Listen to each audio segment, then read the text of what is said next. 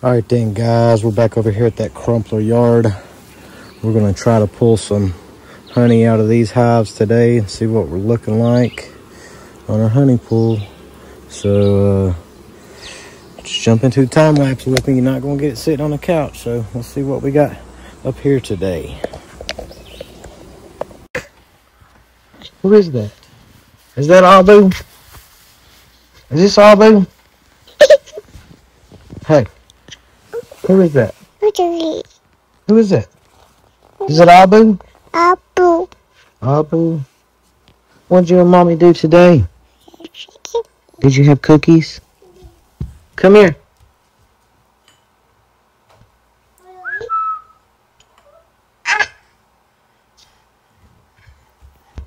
Did you and mommy have cookies today?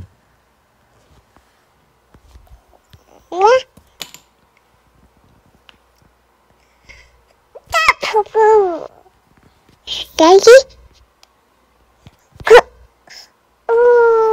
Can you sing for me?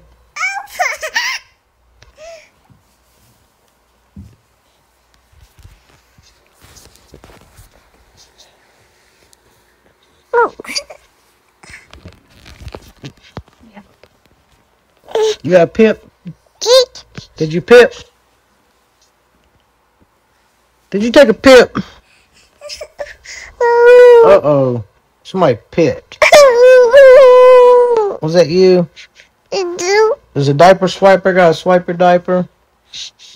Diaper swiper. Diaper swiper. Diaper swiper. Diaper swiper. Uh-oh. Can you say uh-oh? Say uh-oh. Uh-oh. Uh-oh. That's it, guys. Just got through this crumpler yard.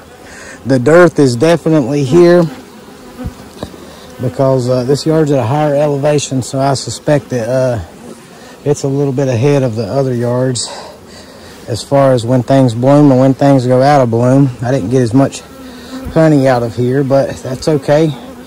Left plenty for the girls. They're doing good. I had some queens return from mating flights. Got bees in all my boxes here. I didn't think that I had 20 colonies here, but I do. So this is what it looks like. Uh, it's always a mess, at least till the end of the year. Show you guys what we got. Let's put this fence back together real quick. All right.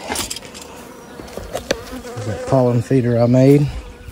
So we come out with seven and three quarter boxes on there. I'm gonna strap it all in and get it all situated uh, after I get pulled down here level.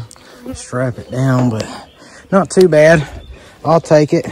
It's definitely a win. Let's get it down here to the collective. That way I can uh, start processing a little bit next week. So the dearth is here for us guys. That means that you might want to feed your bees. Don't pull all of your honey off. If uh, you're pulling honey, don't take so much that you have to feed, but you can as long as you feed your bees. Feed your bees.